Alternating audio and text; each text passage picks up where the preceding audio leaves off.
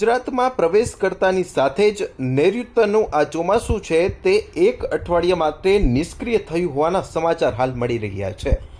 જૂનાગઢના આગાહીકાર પરેશ ગોસ્વામી દ્વારા જણાવવામાં આવ્યું છે કે ગઈકાલે જે આગાહીકારો અને હવામાન વિભાગ દ્વારા આગાહી કરવામાં આવી હતી અને આ વર્ષે ગુજરાતમાં ચોમાસાની જે વહેલી શરૂઆતની જાહેરાત કરવામાં આવી હતી તે ઘટના ખોટી પડી છે.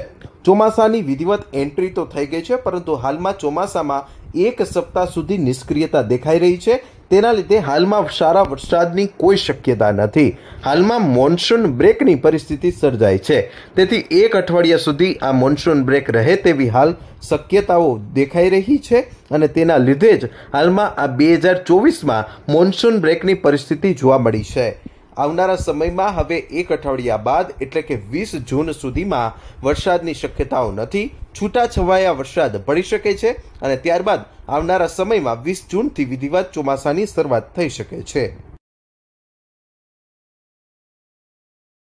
આઈએમડી એટલે કે ઇન્ડિયન મિટિયોલોજી ડિપાર્ટમેન્ટના મોડેલોના ઇન્ડિકેશનના આધારે જોવા જાય તો ગઈકાલે એટલે કે અગિયાર જૂન બે હજાર ચોવીસના રોજ નૈઋત્યનું ચોમાસું છે, એનો પ્રવેશ ગુજરાતની અંદર થઈ ચૂક્યો છે. અને જેની જાહેરાત પણ હવામાન વિભાગ તરફથી અને અમારા જેવા પ્રાઇવેટ અનેક વેધર એક્સપર્ટ તરફથી કરી દેવામાં આવી છે. હવે જે રીતે જોવા જઈએ તો ગઈકાલે નૈઋત્યના ચોમાસાની શરૂઆત છે. દક્ષિણ ગુજરાતથી થઈ છે. દક્ષિણ ગુજરાતમાં ચોમાસું પ્રવેશ કરી ગયું છે. પણ અનેક વખત એવું પણ બનતું હોય કે ચોમાસું રાજ્યની અંદર પ્રવેશ કરીએ. પણ પ્રવેશ કરતાની સાથે ચોમાસું નિષ્ક્રિય થઈ જતું હોય છે. એવું અનેક વર્ષે બને છે. અને જેને કહેવામાં આવે છે મોન્સૂન બ્રેક. હવે એ મોન્સૂન બ્રેકની પરિસ્થિતિ છે એ ચાલુ વર્ષે એટલે કે બે હજાર ચોવીસના ચોમાસા દરમિયાન પણ અત્યારે આ પરિસ્થિતિનું નિર્માણ થયું છે. ગઈકાલે જેવી રીતે નૈઋત્યનું ચોમાસું ગુજરાતમાં પ્રવેશ કર્યું. દક્ષિણ ગુજરાતના લગભગ વલસાડ, વાપી અને નવસારી સુધી હવામાન વિભાગ તરફથી જાહેરાત પણ કરી દેવામાં આવી ત્યાં સુધી ચોમાસું પહોંચી ગયું છે. પણ ત્યાં પહોંચતાની સાથે જ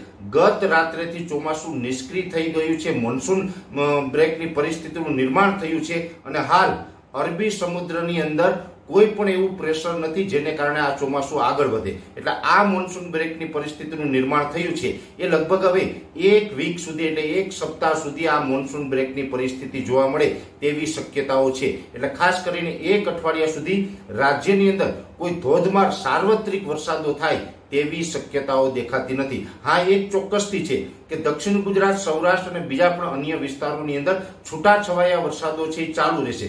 જેવી રીતે છેલ્લા બે ચાર દિવસથી રાજ્યના અનેક વિસ્તારોની અંદર છૂટાછવાયા વરસાદો પડી રહ્યા છે. અનેક જગ્યાએ થર્નસ્ટોમ એક્ટિવિટી થઈ રહી છે. કોઈ કોઈ જગ્યાએ થર્નસ્ટોમ એક્ટિવિટી થાય અને ત્યાં તીવ્રતા સાથે કદાચ એકથી બે કે અઢી ઇંચ વરસાદ પડીએ તો એ વિસ્તારોના ગામડાઓને વાવણી લાયક વરસાદનો પણ લાભ મળી શકે છે. પણ સાર્વત્રિક વરસાદ હમણાં નહીં જોવા મળે છૂટાછવાયા વરસાદો જોવા મળશે અને આ મોન્સૂન બ્રેકની પરિસ્થિતિ છે એ થોડીક લાંબી ચાલે એવું આજના અલગ અલગ મોડલોના પ્રિડિક્શનના આધારે અમારું તારણ છે. એટલે અરબી સમુદ્રની અંદરથી ફરીથી કોઈ નવો કરંટ આવશે. એટલે લગભગ વીસ તારીખથી રાજ્યની અંદર ફરીથી ચોમાસું સક્રિય થાય તેવી શક્યતાઓ હાલ દેખાઈ રહી છે. જો કે સોળ સત્તર તારીખમાં પણ ચોમાસું સક્રિય થશે, પણ એમાં કોઈ મોટી ઉથલ પાથલ થાય સોળ સત્તર તારીખથી કોઈ સાર્વત્રિક વરસાદો થાય તેવી શક્યતાઓ નથી. એટલે હમણાં કોઈ મોટા વરસાદના રાઉન્ડની આશા ન રાખવી વીસ તારીખ પછીથી ફરીથી નૈઋત્યનું ચોમાસું સક્રિય થઈ અને આગળ વધશે એ પછીથી આપણે સાર્વત્રિક વરસાદોના